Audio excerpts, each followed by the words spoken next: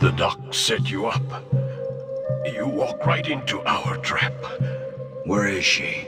But you fight like a mountain lion. You know where my daughter is or not? I was a father too. Just tell me where she is. I killed for my children, but it made no difference. You're lucky, mister. Your kid's alive. Where? Bob Graham, Big Rock Ranch.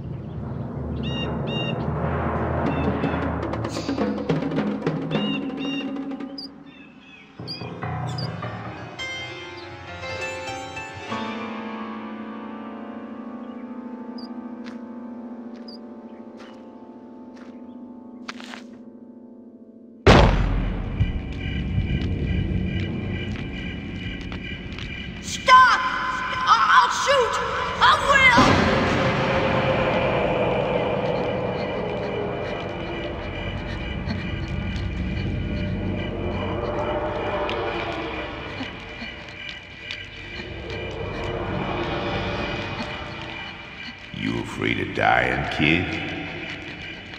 Keep that fear.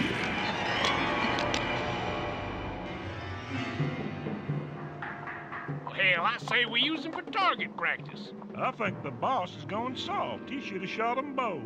I reckon the boss is wanting to run for mayor. Don't want any blood on his hands.